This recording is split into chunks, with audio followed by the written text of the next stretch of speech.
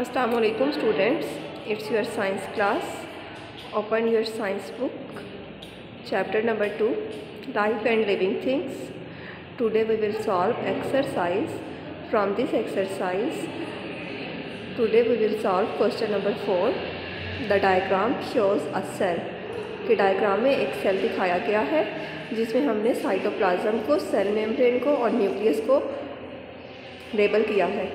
First question है इस diagram से related does the cell come from a plant or an animal give two result for your answer कि आपने ये बताना है कि ये जो डायग्राम में सेल दिखाया गया है, ये प्लांट सेल से है या एनिमल सेल से है?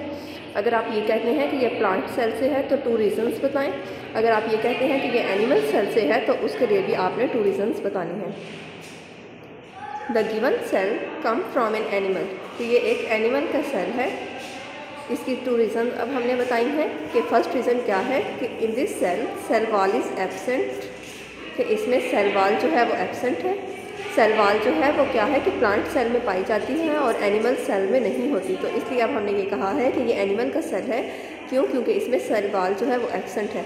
In this green chloroplast are absent कि इसमें ग्रीन क्लोरोप्लास्ट जो क्लोरोप्लास्ट होते हैं, वो प्लांट सेल्स में होते हैं, क्योंकि उन्होंने जो है वो क्लोरोफिल की प्रेजेंस में फोटोसिंथेसिस का प्रोसेस करना होता है। एनिमल्स में एज सच कोई प्रोसेस नहीं होता, इसलिए एनिमल्स में क्लोरोप्लास्ट नहीं होते। तो इसलिए हमारे पास ये जो सेल था, ये क्या था कि ये एक एनिमल का सेल है। सेकेंड क्वेश्चन है each animal and plant cells have a nucleus what does the nucleus do हर जानवर और प्लांट के सेल में न्यूक्लियस होता है।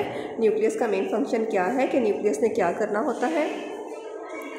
The nucleus is the control centre of the cell के न्यूक्लियस जो है वो कंट्रोल सेंटर है सेल का।